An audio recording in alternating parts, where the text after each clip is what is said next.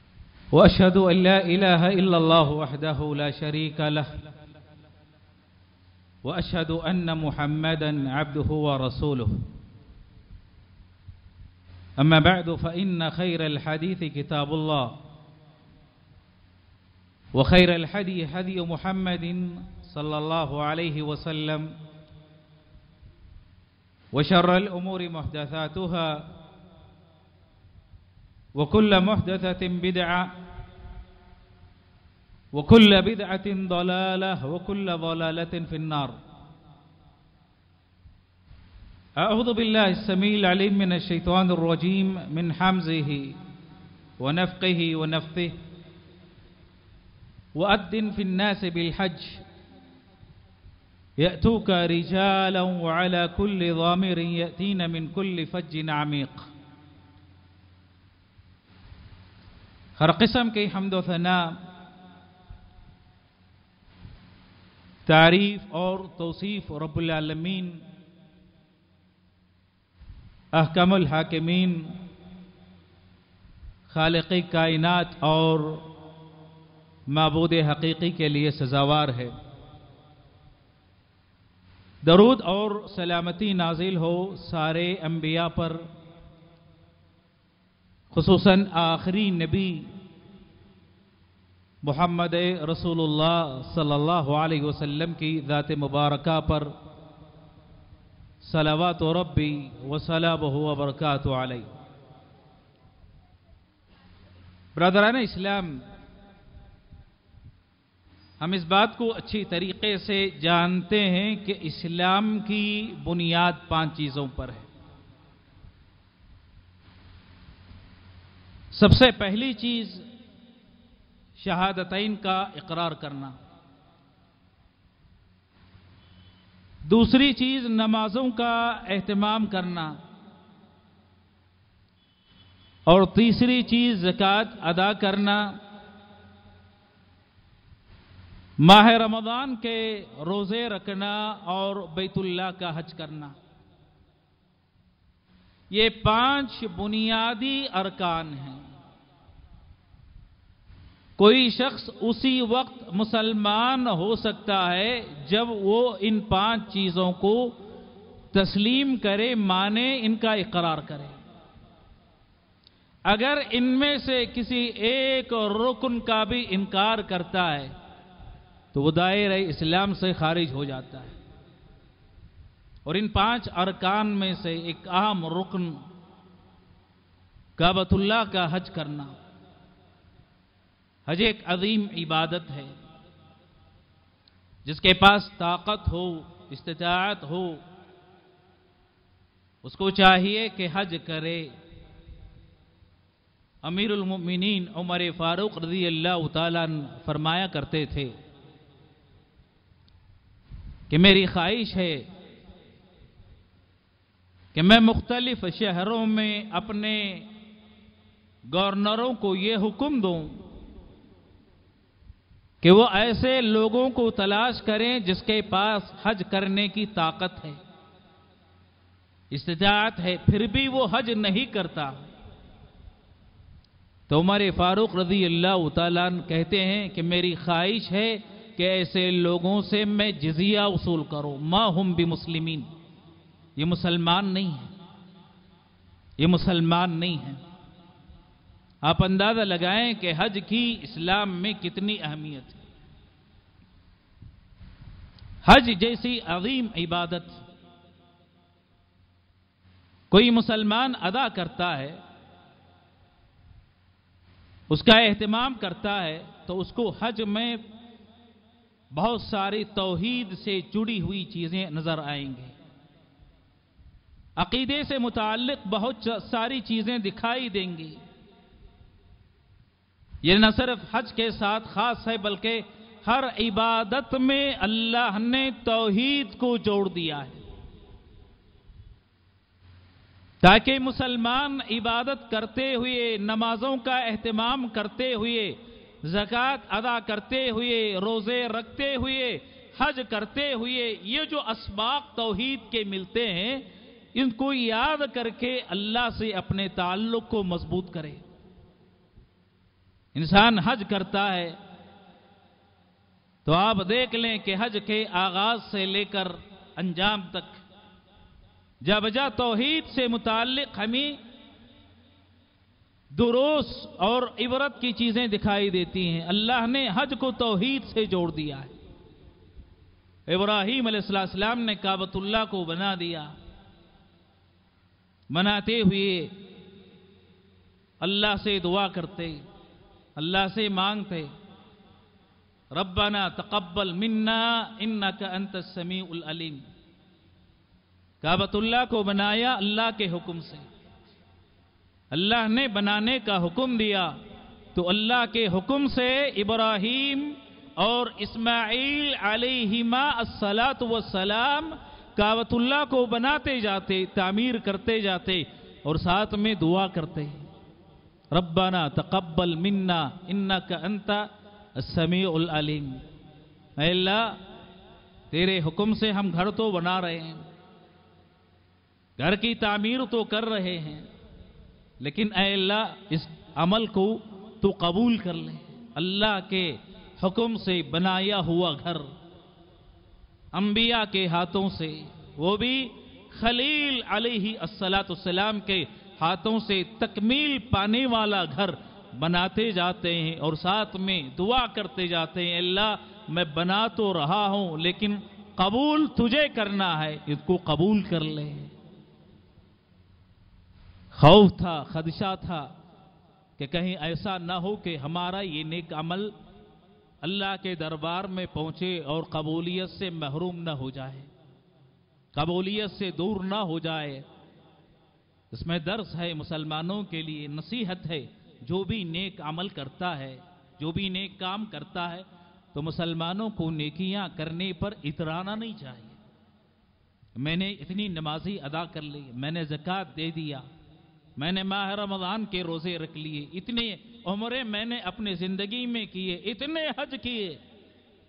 मेरी तो नजात यकीनी है, मैं कामयाब हो जाऊँगा, मुसलमानों को कभी अपनी इबादतों पर इतराना नहीं चाहिए, एहसान नहीं जताना चाहिए, बल्कि हमेशा मोमिन उसके दिल में खौफ होता है कि मैंने अल्लाह के हुक्म के मुताबिक नमाजों का तो एहतमाम कर लिया, कहीं ऐसा ना हो कि ये नमाजें अल्लाह के दरबार में पहुंचकर अदम कबूलियत का शिकार न हो जाएँ, रद्द न कर दी जाएँ। हमारी जक़ात, हमारे रोज़े, हमारे उम्रे और हमारे हज कहीं बेकार न चले जाएँ। ये खौफ मुसलमान में दामनगीर होता है।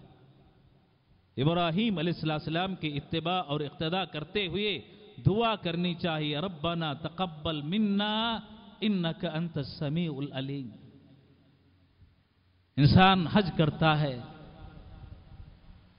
रवाना होता है तो तलबिया का एहतमाम करता है, पुकारता है, लब्बैक, अल्लाहुम्मा लब्बैक। लब्बैक ला शरीक लक लब्बैक इन्नल हमदा व नेमत लक वल मुल्क ला शरीक लक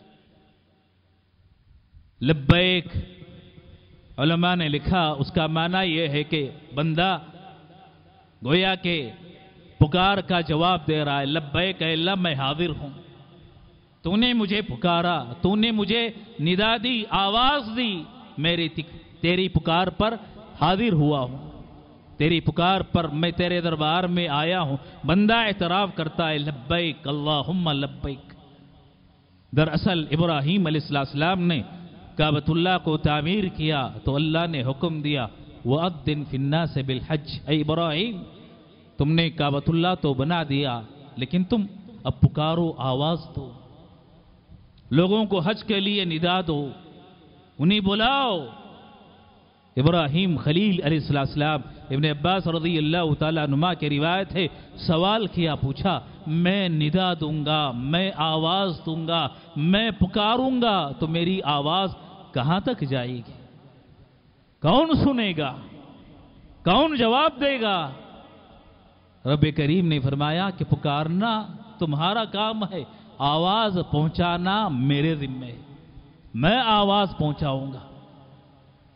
इब्राहिम खलील अलैहिस्सलाम पुकारते हैं वह दिन फिन्ना से बिल हज कि इब्राहिम, निदा दो, आवाज़ दो, पुकारो लोगों में हज के लिए कि वो आए,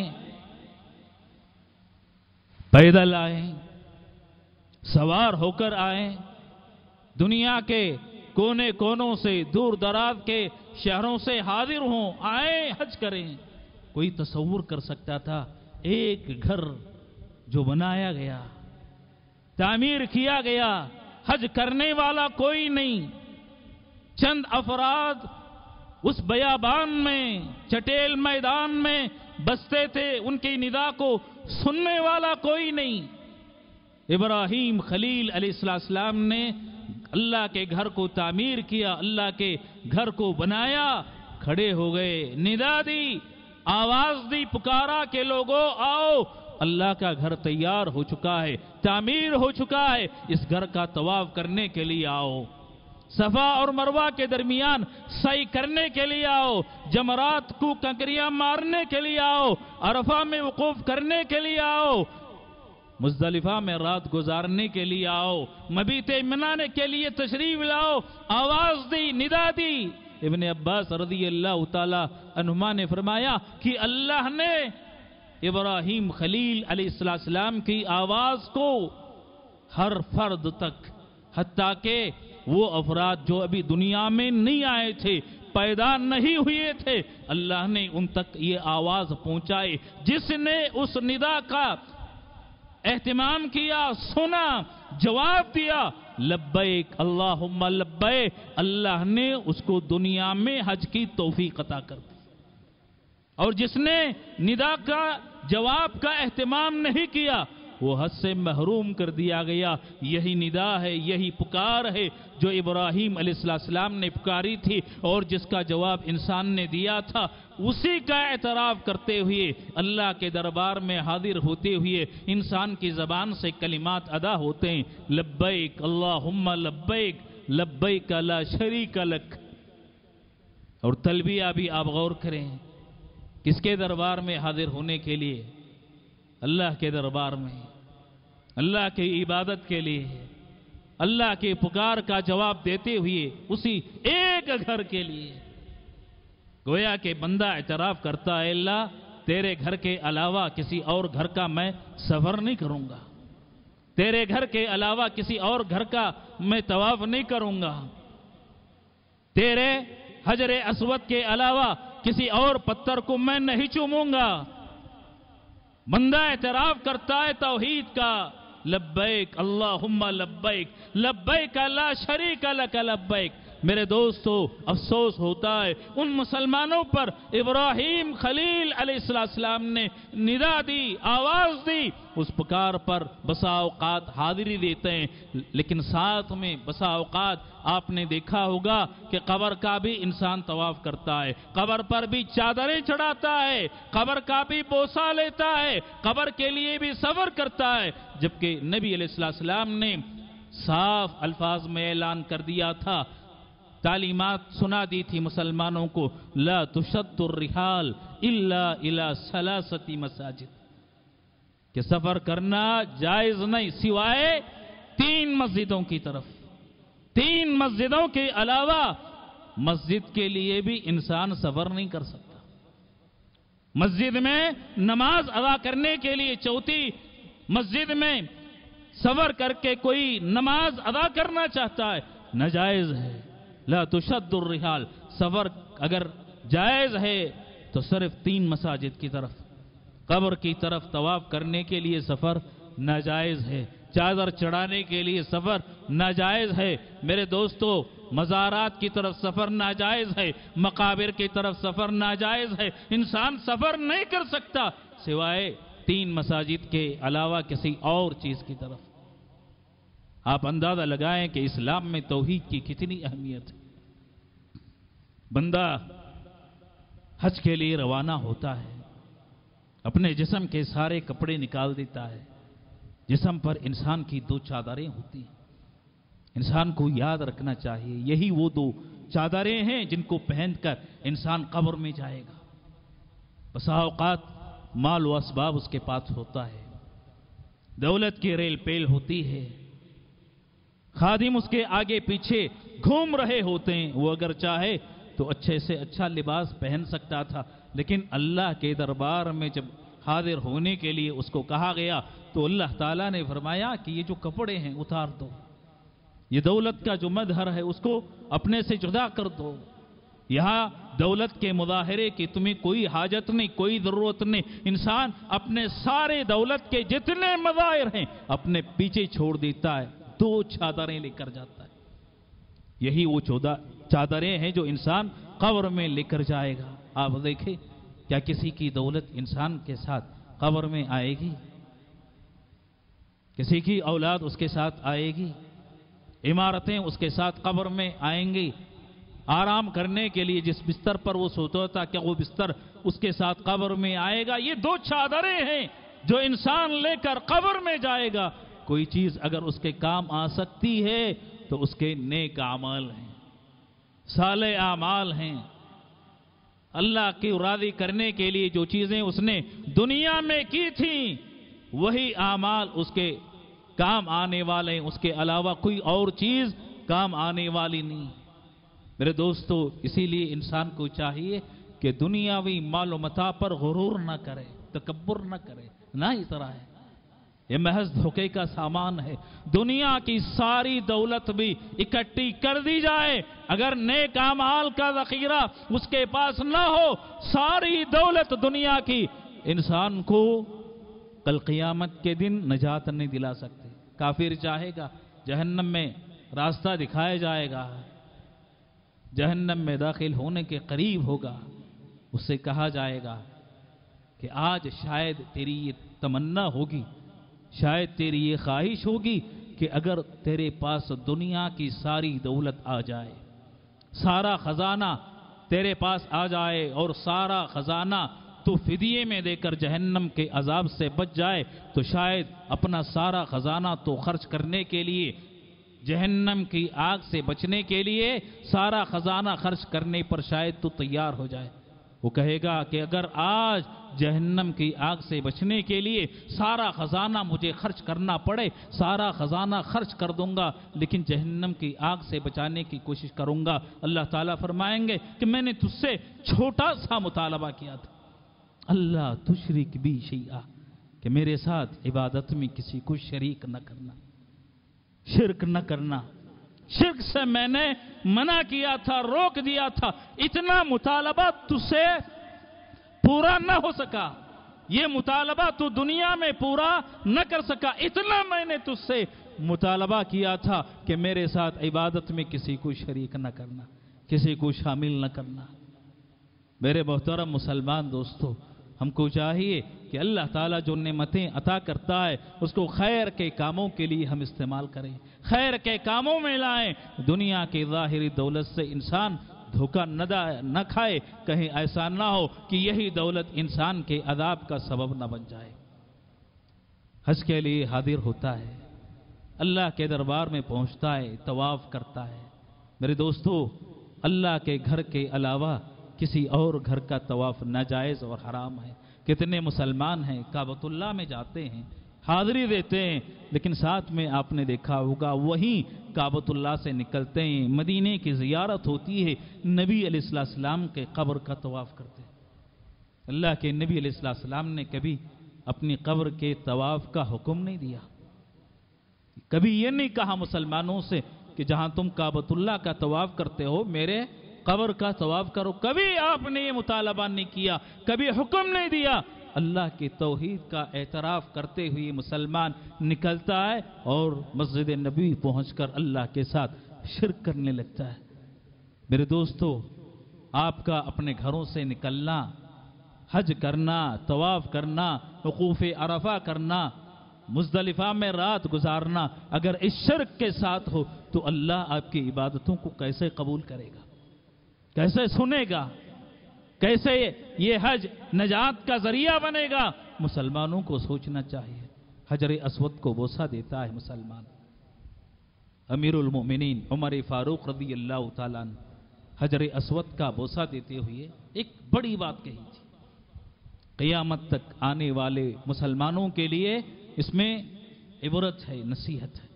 आज कितने मुसलमान हैं, हज के लिए जाते हैं। आपने देखा होगा कि जो चादरें इस्तेमाल करता है एहराम के लिए, उन चादरों को जमजम में धो लेता है।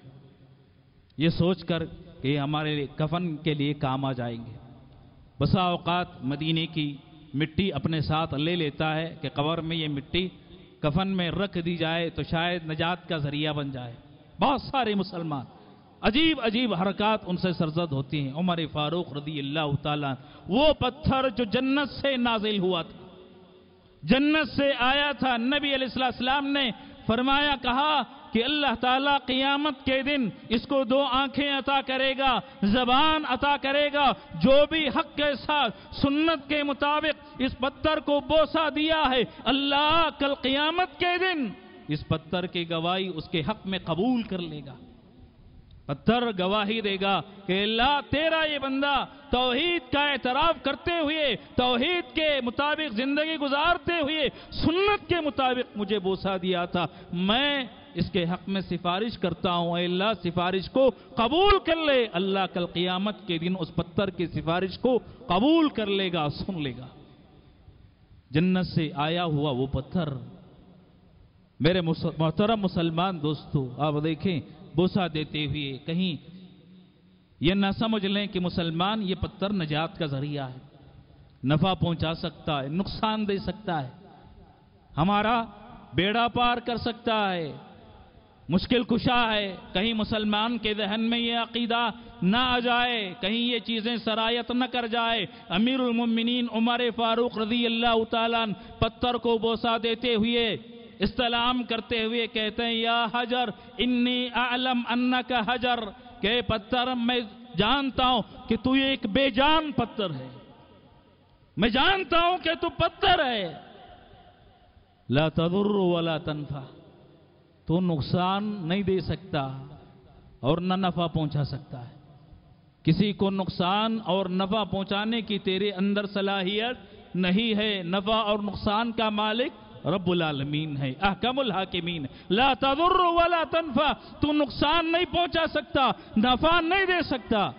तो सवाल ये पैदा होता है बसा अवकात इंसानों के जहनों में तो फिर बोसा क्यों दिया जाता है? नुकसान पहुँचाने की सलाहियत नहीं, नफ़ा देने की सलाहियत नहीं तो बोसा क्यों दिया जाता है? ये सवाल पैदा हो सकता है। उसका जवाब अमीरमिन उमर फारूक रदी अल्लाह ने अपने इस कौल में दे दिया, कहा, मैं जानता हूँ कि तू बेजान पत्थर है, नफ़ा नहीं दे सकता, नुकसान नहीं पहुँचा सकता।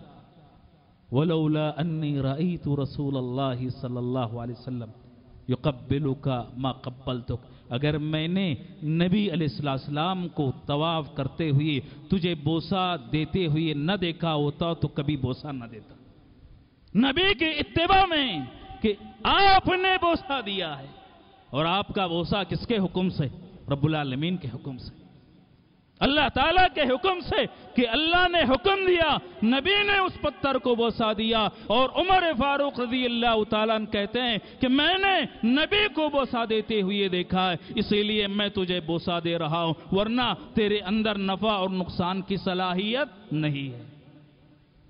मेरे मोहतरम मुसलमान दोस्तों, आप गौर कीजिए, आज कितने पत्थरों का बोसा लिया जाता है, कितने पत्थरों को चूमा जाता है कितने पत्थरों के बारे में अकीदा रखा जाता है कि ये नुकसान पहुँचा सकते हैं, नफा दे सकते हैं। आपने बाद मज़ारात पर मुशाहदा किया होगा कि किसी पत्थर के बारे में अकीदा फैलाया जाता है। इस पत्थर पर अगर कोई हलवा डाल दे और उस हलवे को इस्तेमाल कर ले तो जो बच्चा हिफ्ज नहीं कर सकता, कुरान का हाफिज बन जाएगा।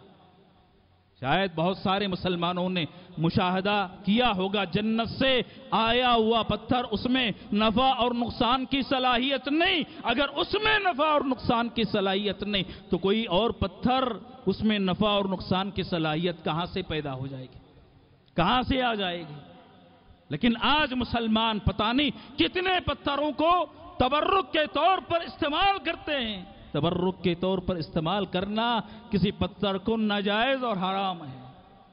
और बहुत सारे मुसलमान आपने देखा होगा कि किसी जूते से यह दावा करते हुए कि नबी अलैहिस्सलाम के जूते यह दावा करते हुए कि नबी अलैहिस्सलाम का बाल है। ये दावा करते हुए कि नबी अलैहिस्सलाम का लिबास है, पेटा है, ये अल्लाह के नबी अलैहिस्सलाम का जुब्बा है, ये असाए मुबारक है, इनसे तबर्रुक हासिल करते हैं। फिर दोस्तों, क्या नबी अलैहिस्सलाम की कोई चीज़ आज तक बाकी रह गई है कि जिसको बतौर तबर्रुक इस्तेमाल किया जाए? अब देख लें तारीख के हवाले से जितनी चीज़ें नबी अलैहिस्सलाम इस्तेमाल करते थे, वो अक्सर चीज़ें सहाबा के आहद के साथ खत्म हो गई। जिसके पास कोई बाल था। तो सहाबा वसीयत किया करते थे कि अल्लाह के नबी अलैहिस्सलाम का बाल है, मेरे कफन में रख देना। सहाबा के साथ वो चीज़ें खत्म हो गई। सहाबी की बात जो दावा किया जाता है, ये मुँह मुबारक है, ये नालायन मुबारक है। ये पगड़ी है, ये जुब्बा और दस्तार है, ये असाए मुबारक है। इनकी नस्बत नबी अलैहिस्सलाम की तरफ़ सही नहीं। बल्कि अगर आप तारीख के औराक का मुताला करें।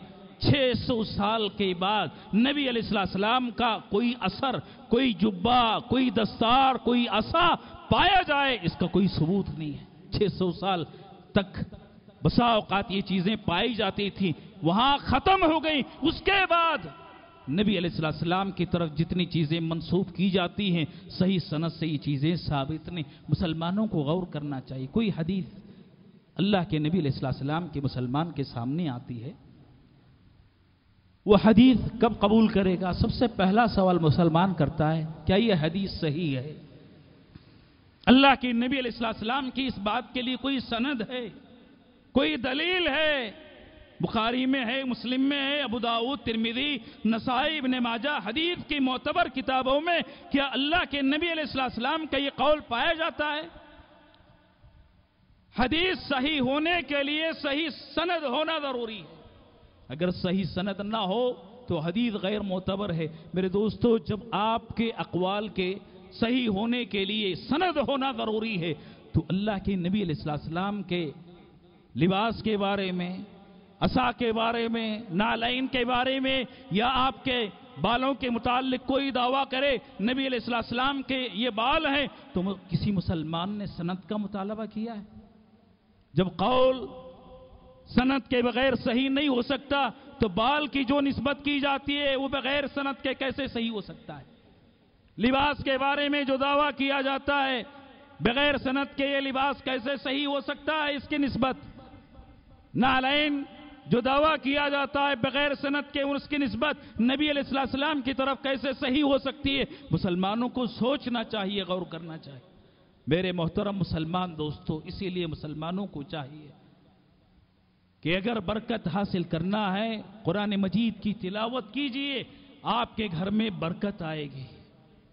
अल्लाह के नबी अलैहिस्सलाम की अहादीस पर अमल कीजिए, आपके घर में बरकत आएगी। और जिन चीज़ों में शरीयत ने बरकत रखी है, उनका इस्तेमाल आप कीजिए, बरकत आएगी। किसी पत्थर से बरकत नहीं आने वाली। है किसी मिट्टी से बरकत नहीं आने वाली। आपका कफन, अगर आप एहराम के कपड़ों को बनाते हैं, आपका अमल अच्छा नहीं तो वह आपके निजात के लिए ज़रिया नहीं बन सकता। अबू बकर सिद्दीक रज़ी अल्लाह का जब इंतकाल हो रहा था, सवाल किया उमुल मोमिनीन से, पूछा कि आज कौन सा दिन है? कहा इतवार के पीर का दिन है। कहा आज ही के दिन नबी सलाम का इंतकाल हुआ था। और मैं समझता हूँ कि शायद आज या कल भी मेरा इंतकाल हो जाए। जुदा हो जाऊँ दुनिया से। उसके बाद सवाल किया, अल्लाह के नबी सलाम को कफनाने के लिए कितने कपड़े इस्तेमाल हुए थे? कहा, तीन कपड़े। अबू बकर सिद्दीक रज़ी अल्लाह तु ने अपने जिसम पर मौजूद कपड़ों की तरफ़ इशारा करते हुए कहा कि मेरे कफन के लिए कपड़े इस्तेमाल कर लेना। उमुल मोमिनीन आयशा सिद्दीक रज़ी अल्लाह तहा फरमाती हैं, कहती हैं कि क्यों ना हम आपके लिए नया कफन खरीद लें। नया कफन इस्तेमाल कर ले, कहा कि नए लिबास के ज़्यादा मोहताज ज़िंदा इंसान है। मैं तो मर कर कब्र में जाने वाला हूँ, मुझे नए लिबास की ज़रूरत नहीं, हाजत नहीं, मुझसे ज़्यादा नए लिबास के जरूरतमंद ज़िंदा इंसान है। जिंदों को ज़्यादा ज़रूरत है। आप गौर करें कि बात में कितनी गहराई है। अगर नया कफन लेकर इंसान कब्र में चला जाता है, आमाल अच्छे न हो तो क्या वो नया कफन इंसान को जहन्नम की आग से बचा सकता है? और अगर कफन पुराना हो, आमाल अच्छे हो तो क्या पुराना कफन जन्नत की नेमतों में आड़ बन सकता है? रुकावट बन सकता है, असल इबरत तो इंसान के उसके अपने अमाल हैं। अमाल अच्छे हैं तो पुराना कफन भी इंसान को नुकसान नहीं पहुंचाएगा। अमाल बुरे हैं तो नया कफन भी इंसान को जहन्नम के अदाब से बचा नहीं पाएगा। मेरे दोस्तों, आप सोच लीजिए, गौर कर लीजिए कि हम किस माशरे में ज़िंदगी गुजारते हैं और इस्लाम हमें क्या तालीम देना चाहता है, कौन सी चीज़ सिखाना चाहता है। असल चीज़ इंसान के उसके अपने अमाल हैं। ये कपड़े, ये लिबास, ये दुनिया के मज़ाहिर, ये सारी चीज़ें इंसान के इस्तेमाल के लिए इससे बरकत नहीं ली जा सकती, बरकत हासिल नहीं की जा सकती। हज में बहुत सारे दुरूस हैं। सारे दुरूस का इहाता नहीं किया जा सकता। मुसलमानों को चाहिए कि तोहीद का जो सबक हमें हज के ज़रिए मिलता है। इंसान उसको याद करे और उसके मुताबिक ज़िंदगी गुजारने की कोशिश करे। रब करीम से दुआ है कि अल्लाह ताला हम तमाम मुसलमानों को अल्लाह ताला ने जो अकामात नाजिल किए हैं उन पर कमा काहू अमल करने की तोफ़ी अदा फरमाए। अल्लाह ताला हमारे किए हुए अमाल को कबूल फरमाए। अल्लाह ताला हर तरह के, के शिरक बिदात और मासीतों से अल्लाह ताला महफूज रखे। दुनिया में जब तक ज़िंदा रखे, ईमान और इस्लाम पर ज़िंदा रखे तोहहीद पर अल्लाह ताला मोतदा फरमाए, जन्नत में जगह अदा फरमाए, जहन्नम और क़बर के अदाब से बचाए। आमीन। व आखरुद अवान अलहमदिल्ला रबालमीन